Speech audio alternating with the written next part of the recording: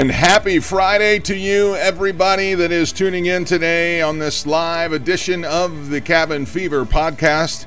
Happy fi- Friday, especially to all of you who have uh, gone back to work this week. And uh, this uh, actually, uh, your state has come off quarantine. Some of you have gone back to work and it actually means that Friday means something again. We can tell what day it is. Um, it, it is a great place to be. Um, that you're able to go back and have start putting your life back together. I know that uh, 21 states, I believe, came off curfew this week, or not curfew, but quarantine this week. And uh, so, uh, if that's you and you're one of them, great. Uh, let's continue to pray for the rest of the states that are still uh, under quarantine. I know that uh, even in California and some of the, the bigger states are starting to even turn on some of the jobs so that people can start to go back to work.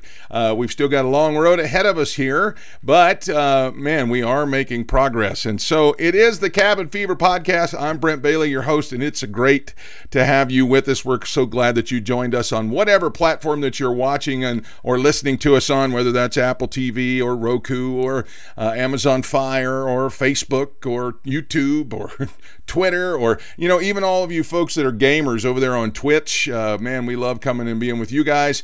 Uh, all of you folks on Apple Podcast, Google Podcast, iHeartRadio. Uh, I mean, the, all of you that have been listening and supporting the show, we're so grateful for you and uh, so thankful that you have given us your time today. Uh, why don't you go ahead and do me a favor if you are on one of the social networks, please click the share button right now. Help us get the word out about today's show. We've got a great one planned for you. Uh, and before we get into our first guest today, I don't know if anybody else saw this, but uh, last night uh, I was uh, kind of reading through the USA Today and I saw this was Teacher Appreciation Week. I don't know if anybody else realized that. A lot of uh, folks uh, probably want to appreciate themselves because they're they are doing homeschooling and uh, uh, I saw that this uh, article was written in for the Teacher Appreciation Week. It, was the countdown, if you will, a great big, you know, article about the best television show uh, teachers of all time. And so I saw this. I kind of read through it. We're going to get into that for a second, but I do want to say for all of you who are teachers, man, can I say we already appreciated you, but you actually have moved up on the ladder, which is really where you really where you should have been. But all of us who have been homeschooling our kids this week uh, and for the last several weeks, thank you to all the teachers that do this on a regular basis. Uh, man, we're so appreciative of you. Now, the article. Uh, listed some of the best television show teachers of all time. They had people like um, Mr. Kotter. Uh, I think we have a graphic for it. Um, there was uh, people on there that, uh, like Mr. Kotter, and uh, there were folks like uh, Walter White, which I thought that was hilarious. Walter White from Breaking Bad. There's the teacher from Glee. Mark Cooper from Hanging with Mr. Cooper. Uh, Mrs. Keating from How to Get Away with Murder. this is not a good list. Uh, Mr. Clark from Stranger Things, Mrs. Krabappel from The Simpsons, uh, Mrs. Frizzle from The Magic School Bus, uh, other some other famous teachers. Now there were a few. There was the professor from the Gilligan's Island. I, I, I was just sitting here thinking about uh, who was my favorite teacher growing up, and that's what we want to hear from you about today in the comment section below. Why don't you tell us who your favorite teacher was uh, as you were growing up? I remember I remember Mrs. White was my first grade teacher. She was also uh, my mom's first grade teacher. That, so that was kind of unique. But I think probably my favorite teacher growing up was my 10th and 11th grade current events and then history teacher was Mr. Gilbert, and he was really cool. He was really he was just real, and uh, loved having uh, his class. It was always uh, such a, a great.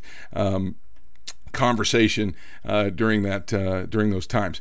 So uh, that's something I thought I would just start the show off with today. A big thank you to all of the teachers that are out there for taking the time to teach our kids. And man, it really means so much to us, especially those of us who don't have the patience to teach seventh grade math anymore. Okay, so thank you so much, teachers.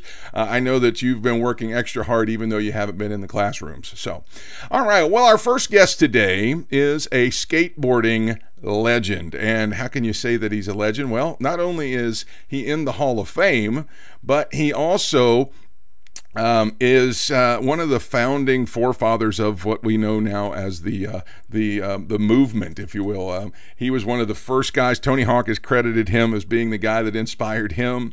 Uh, he used, said he used to drive around looking for empty pools to skate in. there was this before this is what it was, and uh, we got some footage on the screen right now of him being inducted into the Skateboarding Hall of Fame. Uh, he is the host of the El Gato Classic in Palm Springs, California in California. I remember in Kentucky. Now, now this is this is you know world of away when Kentucky and California in the 70s. Uh, I remember being this little chubby kid uh, going over to my cousin's house, and he was with the first person I ever saw. I was probably seven or eight years old. He had a skateboard. Uh, we didn't even know what that was back in those days. And when he got a skateboard and he started getting into uh, skateboarding magazines, and I remember laying in his driveway looking at uh, at the pictures of of of our first guest and and some of the other guys doing things that we just like thought was like magic. Like, how are they doing that? That's got to be, I mean, do they have wires? What are they doing? And uh, I remember being, you know, just so impressed by that whole thing, uh, doing tricks. Now, the great thing about our first guest is his, his journey doesn't start and, uh, or doesn't end with skateboarding. He, God got a hold of his life. He's now a pastor in Palm Springs, California. He is a, a great guy. He has brought hope to the Coachella Valley uh, through, through Jesus and the message that, that he uh, has. And so we're so so, glad to have with us on the program today Eddie Elguera, the cat, if you will, El Gato. So let me see if I can get your volume turned up here. Are you there? Hey, yes, uh, yes, I'm here. It's great to be on with you. It's so good to have you. Thanks for taking the time out to do it today. How's everything going out there in Palm Springs? Um, it's going. It's going along like everywhere else in the country. I know that uh, we're have a little bit difficult time here of opening like it is in New York, uh, but we're pushing on, pushing through, doing what we can to get the gospel out and not go crazy. yeah. So now you've been doing uh, video services for a little while now. Well, yeah, this is going to be our ninth week. Can you believe it? Nine weeks. Wow. And so we started off. Um, actually, I was at the Increase event in Hawaii. Yes, you were. Flew back, flew back, went with our team. It was on Friday afternoon, Saturday. Said we gotta. We're probably we prayed about. It, said what are we gonna what are we gonna do? We said no, we're not gonna have church. Had to put church together online, let people know. And so what we did is we went online that day, and um, it was live. But then uh, for the next six weeks, we kind of did uh, recording. Uh, but I didn't. It didn't work out for me. I, I couldn't handle it. So the last couple of weeks, I've been live real time and which is the best part I love about it is is we're watching Facebook and YouTube and people interacting. So at the end of the service, we see people's prayer requests and boom, real time prayers. And so uh, you know, I, I can't sit down and preach. I yeah. can't I can't record my message because it's like I need the inspiration of the Holy Spirit. Yeah, you got to you, you got to need that feedback. I know. I, I've I've I've been doing mine real time because I could not talk to just a camera, not knowing there's nobody on the other yeah. side yet. So I feel you. I feel you. So uh, let's talk a little bit about your story now. You you you started back in the '70s, uh, and when I heard you speak at uh, one of the increase events, you were you were just talking about you would drive around looking for pools that were empty. Yeah, yeah. That, that, that's well, how this started. Was, yeah, well, actually, I, I saw a magazine in uh, 1975. The summer of 1975, I walked into this liquor store, Blue Jay, California. It's a small little hick town in the San Bernardino Mountains, small. Uh, back then, probably population maybe 100. And so I went into the liquor store. I saw this magazine with a guy skateboarding in an empty swimming pool. And the magazine was Skateboarding Magazine, dedicated to skateboarding. And I thought to myself, I want to do that one day. And I never realized that walking into that store that that would change the rest of my life. And it's kind of like I love the scripture when the Bible says about how David served his generation. I believe that skateboarding is part of me serving God's plan for my life and being a part of the skateboard industry. So yeah, so that got me started, and I would, I didn't have uh, no money, didn't have a car. I was uh, 14 years old. I'd hitchhike down from the mountains to San Bernardino, looking around, finding swimming pools to skate in, and doing whatever it took to skate pools and just become a better skateboarder and hoping that one day maybe I'd be on the cover of the magazine, maybe hoping that one day um, I could be a professional and get free stuff. Basically, you wanted to get sponsored because when you were sponsored, you get free stuff. And that's pretty much the goal at first. I want to get free stuff. yeah. And so uh, when you were doing this, did did you did you I mean, I, I, don't know. Maybe you were thinking this way. Did you think that you were going to start or be the, at the forefront of a real movement that because it was popular, but but man, what it became is such a huge thing. Did you did you even have those kind of thoughts in your in your mind when you were doing that? No, you know, I just for me, I just I wanted to be in the magazine, so I thought maybe one day I could be in the magazines. Back then, you know, skateboarding was mostly in the beach areas, so the coastal areas, Florida, you know, you'd get uh, you'd get uh, California and Australia, different places like that. And I thought, well, maybe, I hope I could get in the magazine one day. If I could get a picture, man, I've arrived. Not thinking where skateboarding would be. And you know what? Skateboarding at that time was really a rebellious sport. It's like if you skateboarded, people looked down upon you. It's like, what are you doing? And I would skate throughout the mountain everywhere, and everybody knew me as the skateboarder. I'd go wherever I could find a, a, a small patch of, of uh, asphalt or concrete. I would do tricks and 360s. This is before, you know, a lot of the vertical skating. So yeah, not knowing that what it was going to take me to or what I got to be a part of, I just said, I want to be in the magazine. I want to get free stuff. Basically, that was my my desire, my push. Okay, so our, our, our, guest today is uh, Pastor Eddie Alguero, Elguera, and he is uh, also known as El Gato. He is a skateboarding legend, but he's also a pastor. And in the in the face of all these uh, you know the popularity and and the the movement god got a hold of your life and really took it for a big turn. Tell us a little bit about what happened there because you laid down skateboarding for a while right? Yeah it was uh, so in 1975 when i saw the magazine cover i got okay one, one day i'll be on the cover one day hopefully be in the magazine uh, four uh, five years later eh, no four years later 1979 i was on the cover I was a skateboarder of the year. I started inventing all kinds of uh, maneuvers, uh, uh the Elguerial, frontside rock and roll, uh, frontside invert, fake. Uh, so I started uh, leading out kind of the path of skateboarding and and invented a lot of the maneuvers that are still done today. But it was all new back then. After two years, you know, I was in the Devo video for skateboarding and traveled the world and at the top uh, two years in a row, I just felt, you know, is there anything else? I, you know, I have to strive for another contest or I have to win another contest. And I got to that place of just saying, you know what, I just, I don't want to do this anymore. I don't know. I just, and I just stopped skateboarding. Everybody was like, "What are you doing? What are you doing?" And for three years, like everyone that is doesn't know the Lord, they search for fulfillment, whether it's fame, whether it's money, whether it's drugs, whether it's alcohol, and and, and so I, skateboarding wasn't fulfilling my life because in all reality, that was not going to fulfill my life. Yeah, God gave me this gift, but it's it's it's part of the byproduct of being a believer of a Christian. God says, I want you to use your gift. I was using it for the wrong reason. So what happened was is I three years trying to find fulfillment, drinking, drugs, smoking, whatever, you you know, you yeah. name it, that that yeah. party life. And so um, one day, this lady came into my brother's restaurant. I'd lost everything. I was working fast food, and uh, here was at the top, and now I'm working fast food. And uh, a divine appointment. This lady from Huntington Beach, California, loved the Lord, just would preach the gospel wherever she was on the beach of Huntington Beach, wherever. And she was there just by chance in Blue Jay, California. Went into, she was just there for the day with her husband. Went in, started sharing the Lord with me and talking about the Lord. And then skateboarding came up. I just said, you know, through skateboarding, I, I had um, uh, gave my life over to God that day. She says, now God uh, gave you that talent. You're never going to find fulfillment in that. It's through Jesus Christ. Gave my life to the Lord. But what the amazing thing about it was, is you know, a lot of times people will will lead people to the Lord and just go, okay, now figure it out for yourself. Three weeks later, she came up and she goes, uh, "Did you guys find a church?" We didn't know we needed to go to church. And she says, Well, I've been coming up the last couple of weeks and I found this church that you need to go to. I'm going to come up on Sunday. She started, she took us to church. Uh, pastor Jim Cobray, he became my pastor. He was my only pastor for the um, until we planted our church, but he still is my pastor. And started going to church. She would come up on Thursday nights from Huntington Beach, discipling me and my family.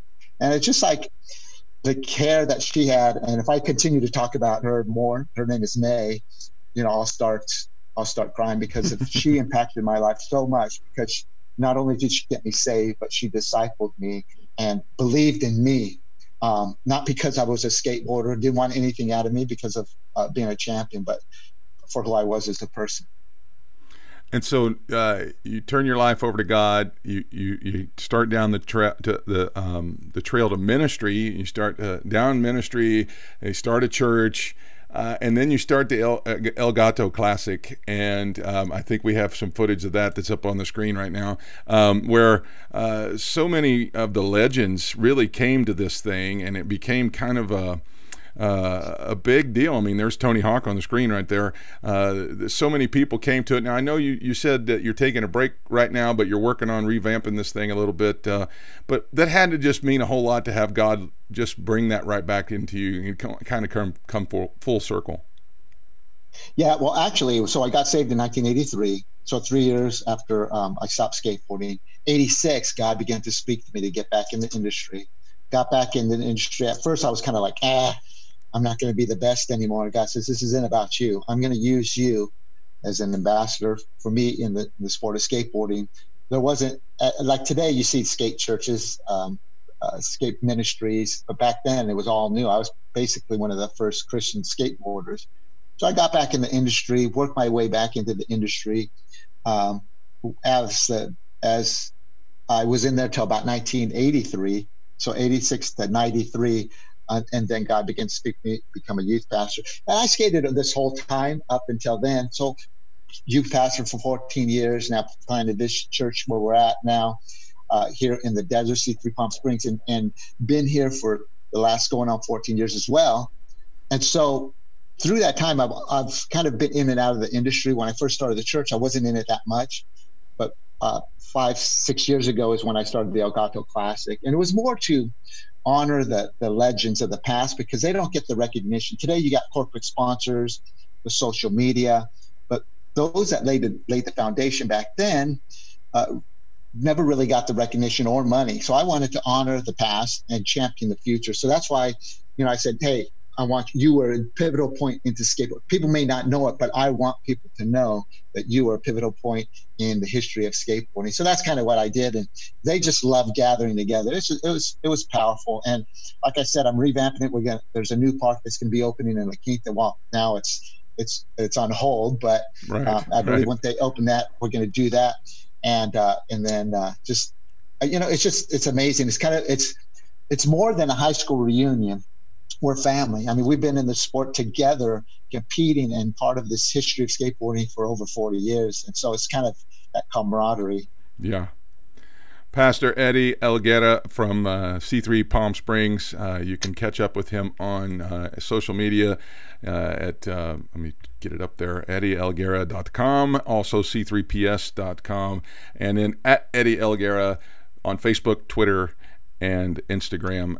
Pastor, thank you so much for coming and being with oh, me today. Uh, this was I, I, I could sit and listen to you tell stories for for hours, and uh, we yeah. want to have you back uh, maybe one day, and when we can, when we have more time, we can we can let you yeah. just just tell stories Unleashed. about you know with all the people that you've you've uh, had had uh, the experiences with. Thank you again so much for coming on hey, today. Thank you, and uh, you know stay strong out there. We'll be praying for you, and we're believing right. for for California to open back up pretty soon. All right. All right. Thank, thank you very much. All right. That's Pastor Ed, Pastor Eddie Elguera of uh, the uh, well, I don't know why this locked up there. There we go. Uh, of uh, Palm Springs and uh, California. You can reach out to him um, uh, via the Facebook, Twitter, and Instagram. Now, I see if I can. I think I just lost my second guest. let me see if I can go back to him. Yeah, this is one of the great things about using new technology that you're not familiar with. So we've tried to start using Zoom, and um, it's uh, it's a it's a new platform for me. So I'm trying to figure that out. Um, let's see. Yeah, I'm not very good at Zoom, so I probably should have uh, got more prepared for this beforehand. But uh, our next guest is going to be a. Um, uh, a news anchor from South Carolina, somebody I've known for his whole almost uh, his whole life. I remember being a youth pastor in California. I mean, excuse me, not California, in Oklahoma, and um, Yeah, you're going to have to just forgive me, folks. I'm just trying to to uh, get this going here. Uh, when I was a youth pastor in Oklahoma, we used to do a youth conference every year, and his family would bring him out. Uh, also at the increase events, um, I would uh, see this young man. He was so young, he was so quiet, and um, um, he was just uh, somebody that didn't really say a whole lot, but he was just a he was a great uh, a great young man. And uh, so when when he went to when he went to go and be uh, what he became, it really kind of uh, was uh, startling to us. We we couldn't believe that this fellow was. Uh, was doing what he's doing. I am so sorry. Let's see if we can get him back in here. All right. I think we've got it going on now. Uh, anyway, he he became uh, what he became, and now he is a anchor for for WYFF in. Uh, Greenville, South Carolina. Sorry about that, Joe. We had a little technical mishap there. And so now I'm going to try and get him up on the screen here. Hold on one second. Let's see. That's one of the great things about doing things live on a platform that you're not really familiar with. Here he is, Joe Ripley from uh, uh, WYFF Channel 4, NBC affiliate in uh, Greenville, South Carolina, right? That's right, Brent. Thanks for having me on. First off, sorry about doing? that, man. I, I, I, this is the only second time I've ever used Zoom, so it's a it's a real mess. so. no, no worries. I, I got to say, uh, first, thanks for having me on. Uh, you've been tremendous to me and my family over the years. I appreciate that. I appreciate what you're doing with the podcast here, Cabin Fever Podcast, aptly named. And how about El Gato, right? Yeah, he's he awesome, awesome, isn't he? Yeah, he's just such a. I mean, I, I, could sit and listen to him tell stories for hours because uh, I grew up reading those magazines that he was in, and so I just, it's just, uh, you know, it's kind of like meeting one of your idols. But uh, anyway, uh, listen, I was telling everybody, I remember, you know, I remember you growing up. So uh, when you were kind of quiet, didn't say a whole lot, and then when I found out that you went on to become a TV personality, I, I mean, I, am not. It's not because you're, you know, uh, your your looks or anything, because you're obviously drop dead handsome man right there but uh, but uh, thank but, you but you just you were just always so quiet and now you're you're one of the faces of the NBC News affiliate there in uh, in South Carolina and man I just I just have to know wh- at what point did you start getting the itch to be on TV yeah, well, Brent, I've always been interested in in people and sharing their stories, and I've always been that creative type to kind of bring that together. So I got the the itch first probably back in college, I would, you know, grow up looking at sports and uh, get interested in the broadcasters rather than, you know, get tied up in the teams. I'd, I'd love to know the players' stories. How did they get to where they were? And the coaches themselves, how do they manage teams? Um, and then it, it, just grew into uh, from an interest to uh, discovering this gift I had for for sharing stories, to talking to people, connecting with people, and bringing out the emotional, bringing out the um, the, the most um, the most emotional part of their lives and sharing that with people because at the end of the day, Brett, it, it's not about what makes us different, but what all do we have in common? And I've found that throughout the five years I've been working in broadcast news. So our, our guest is Joe Ripley, anchor person for WYFF4 in Greenville, South Carolina. Now, it's it's not like this is a non-competitive industry. This is one of the hardest things to break into. Uh, how? I mean, what's the key to fulfilling a dream like that in an industry that is so overly competitive? You know, there's this myth, and maybe it, there's more truth than fiction to it, that this industry is cutthroat, and you know, in some respects, it is. Breaking into this business is hard. Um, you used to have, you know, programs all over the country, uh, you know, designed to filter journalists into the field. But I was blessed and fortunate enough to go to the University of Georgia. Had to get that shout out in there. Go Dogs! Um, the Grady uh, School sorry. of Journalism. hey, hey, hey! They they helped mold me into who I am today, uh, and they have a, a knack for. They have a great track record for um, for landing journalists and jobs all around the world. You look at uh, Ryan Seacrest, Deborah Norville, uh, some of the folks I look up to um, that have made great strides in broadcast, entertainment side, and the news side. Um, but breaking in was a little harder than I thought. So I thought, you know, that UGA would tell me what to do and you know, put me right where I needed to be. Not so much. I got a call during finals week, my senior year in college, uh, after I applied to hundreds of jobs mm-hmm. in radio and TV uh, and, and elsewhere. And it was, you know, uh, my news director, my former boss in Columbus, Georgia. That was my first uh, professional stop here on the road. Uh, and so he said, "Hey, you know, we we've heard great things about you. You know, UGA turns out great journalists. We'd love to have you on board." I said, "Great. What do you want me to do?" He said, "Well, we want you to man the web desk." And I was like, "What does that mean?" and he says, "You know, we want you to you know handle our social media. We want you to put together our new website and transition us from this kind of antiquated dinosaur." Uh, of a new station to bringing us into the digital world. This was about 2015, so five years ago. And I said, you know what? I want to be on air, but I know I got to do what I got to do to get where I want to be, right? Yeah. So I said, let me get my foot in the door. And that's exactly what happened, Brett. Uh, three months later, they asked me to anchor on the desk, first time, no experience. I said, sure.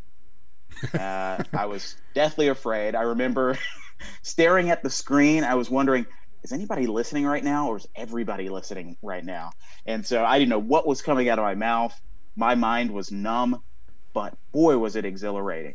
It's so and, it, it, and so when you're when you're when you're starting like that and, and you, you you drop some truth there for everybody because a lot of people ex- would expect to start where you where you ended up.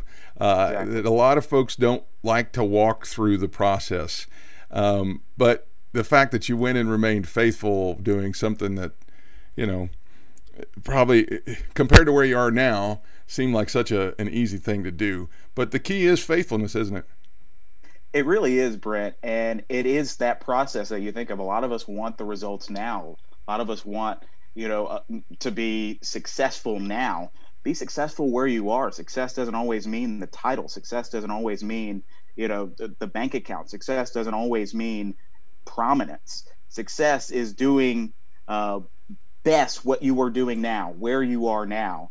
And if you are faithful, then if you're faithful in a little, you'll be faithful with more. God will give you more to handle if He knows you can handle the little stuff. And, it, and I find myself, you know, recounting a lot of those times where I had to do seemingly menial tasks then that still serve me today.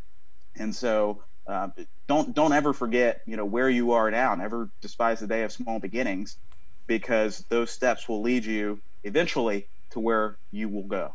Our guest is Joe Ripley. He's a pastor's kid. He's now a news anchor, uh, and and just somebody we're super proud of and super ex- excited to have on the program. Um, listen, there's a lot of talk, and you know we don't want to go too deep into this here, but there's a lot of talk right now about the media being untrustworthy and and uh, you know conspiracy theorists everywhere and stuff like that. Do you confront that yourself personally on a on a daily basis?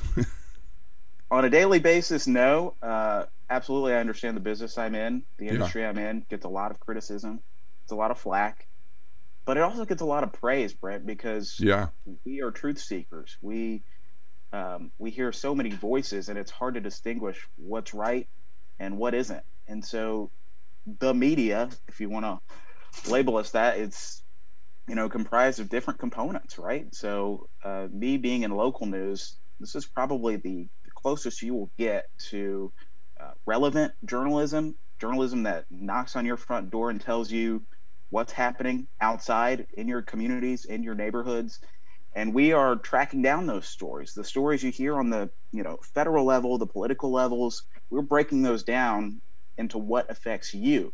And so I, i've gotten it before. I've gotten the you know yelling in your face beating on your window in the car wondering you know what do they have in their hands you know what yeah. are they going to do yeah. that that fearfulness but at the same time I know who's with me, right? I got angels guarding me. That's right. Uh, I got I got Jesus living in my heart. I know that you know He will never leave me nor forsake me. So everywhere I go, I go out with the expectation that I've got a job to do, and God is going to guard me in doing that job.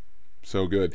Uh, one of the things I did see you, uh, one of the posts that I think you put up that you were on with uh, Al Roker one day. That's got to be pretty exciting to have a, a, a shot from the national desk. Absolutely. I have been incredibly blessed to interview President Trump. I've been incredibly blessed to hold forums for um, political candidates and to get uh, get kind of right up in their faces there. And it's an incredibly cool experience, Brent. Um, got to be on um, the Today Show, yeah. and of course we had Al Roker on our program, and they are just sincere folks. I mean, you kind of get an idea for what they uh, might seem like on air, but actually talking to them, um, they're real folks just like you and I. I talked to Kevin Frazier the other day uh, from Entertainment Tonight, and he was just incredibly real. You know, he, he was trying to find a way to navigate this whole coronavirus mm-hmm. pandemic and dealing with his kids and working from home. And it's just a reminder that, you know, at the same basic level, we're all human, right? Um, but absolutely, bro. That's one of the perks of the job. You get to talk to uh, to important folks here. That's so cool.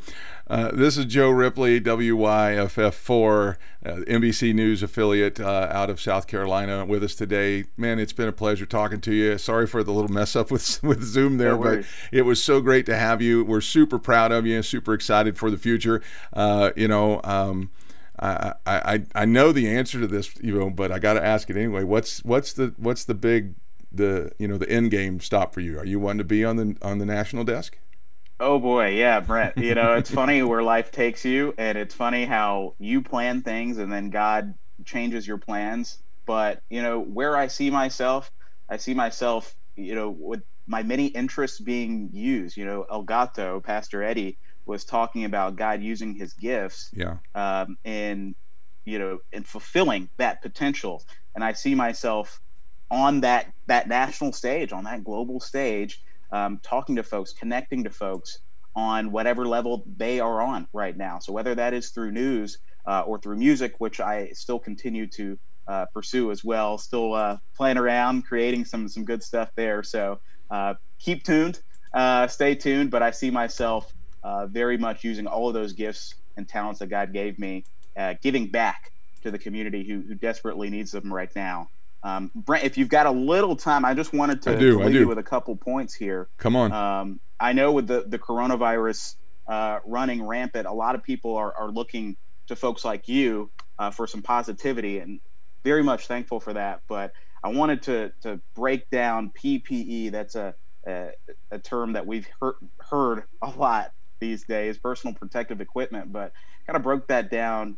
Um, and I want to give you these points. Uh, the first P is protection. Right now, guys, I know as I mentioned before, you're hearing a lot of voices right now, but you want to protect what's what's coming in, what you're digesting right now, um, physically, emotionally, spiritually, all of that, because it does have an impact on you. Brent, we are seeing cases of depression spike. We're seeing suicide cases um, spike, and we've got to know that no weapon formed against us will prosper. So good. You know, it, it we've got to make sure that we are eating, digesting the right things so that we are sustained during this period of crisis.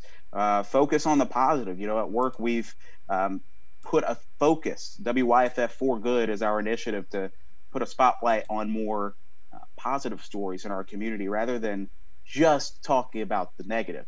So, um, you know, we held a food drive the other week where we raised more than a million meals for local food banks wow. and folks in need, which was just incredible. Uh, all of us played a part in that, and incredibly thankful that I work for a company and a station who has their mind and eye focused on community needs. Um, you know, the other P, we talked about protection. Talk about perspective, Brett, and that perspective is going to give you the direction um, to handle what's going on right now do we think of crisis? Do we think of the problem?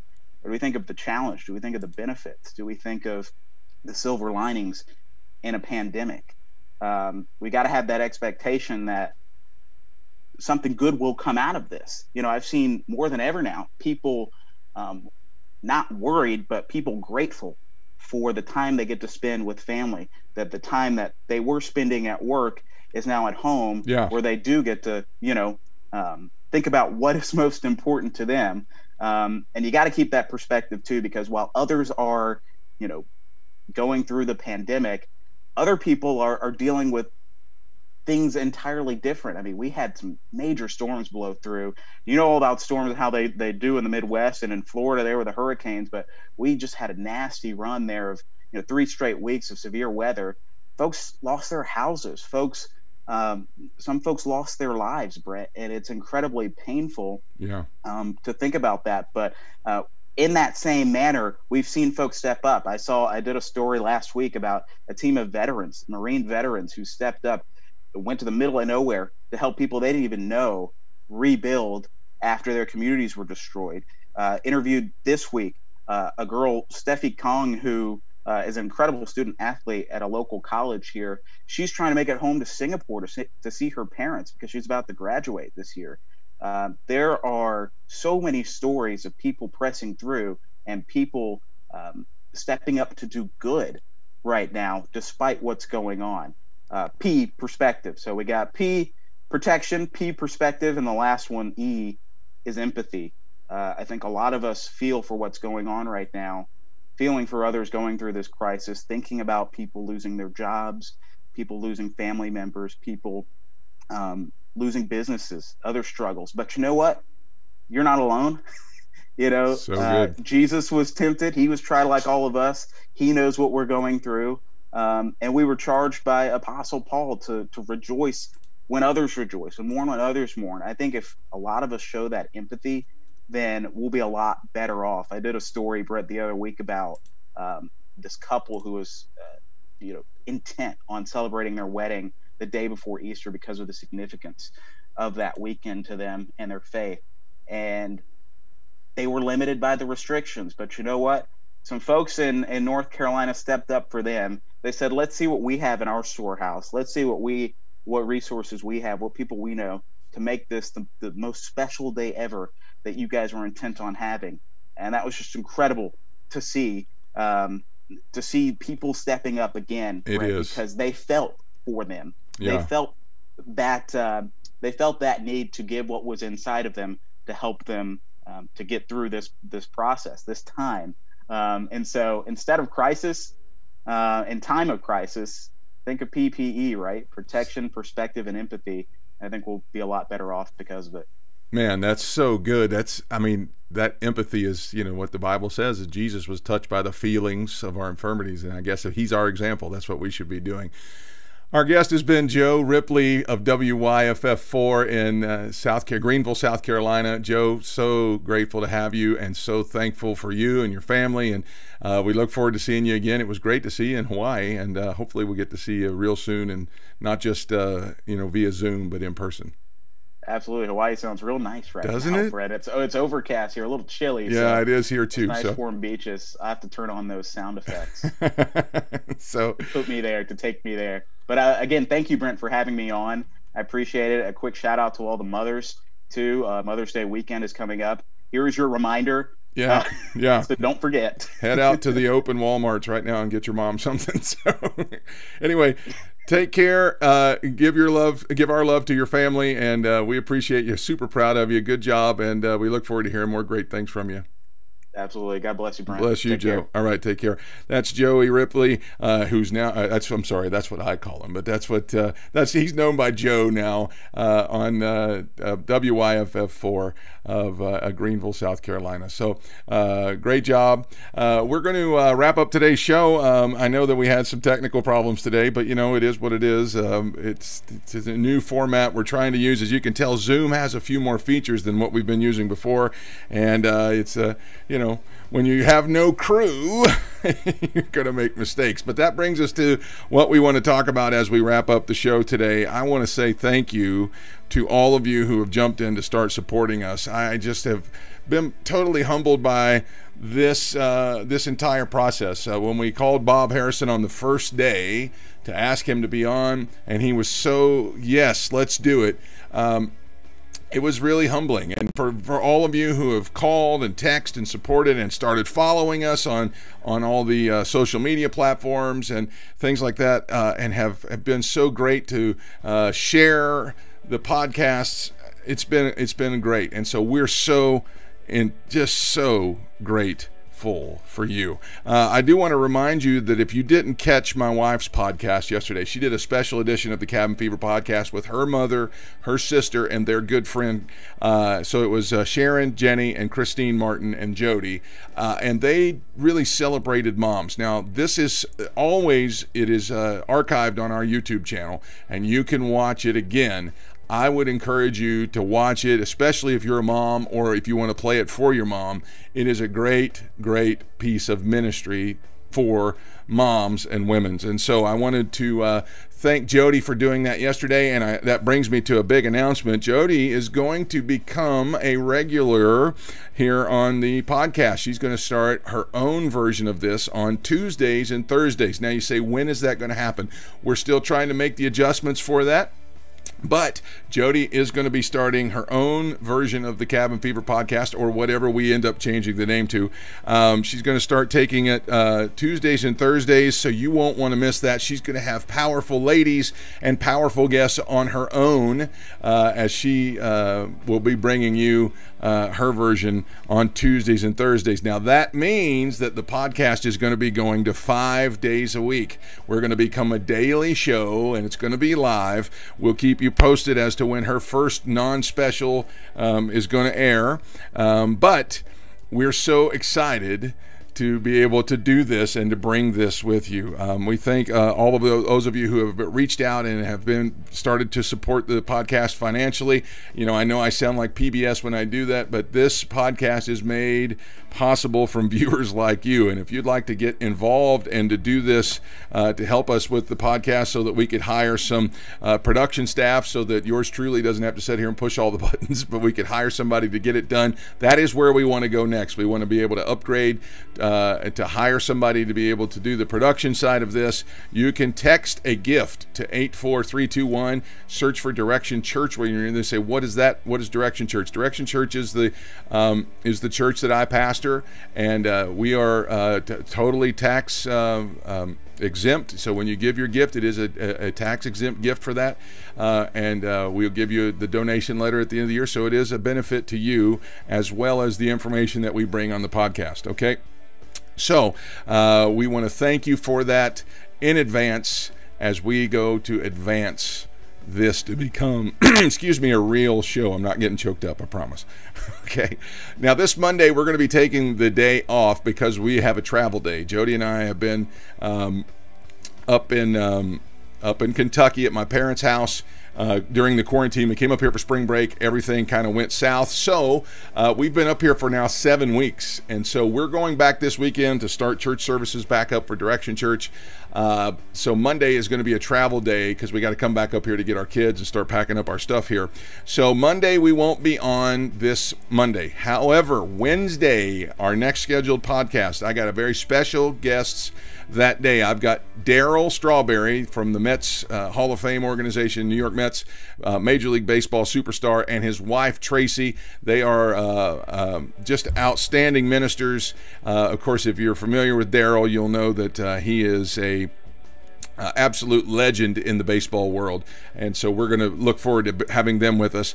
Then, according, uh, then looking ahead into the following week, uh, I've also got former NWA heavyweight champion Nikita Koloff, and we're working on scheduling Grammy winner Jason Crabb. So we've got great guests in the pipeline for you. So go ahead and keep uh, sharing the podcast, and it's going to be uh, another great day. Head outside if you can, and break the cabin fever. Have a great day, everybody.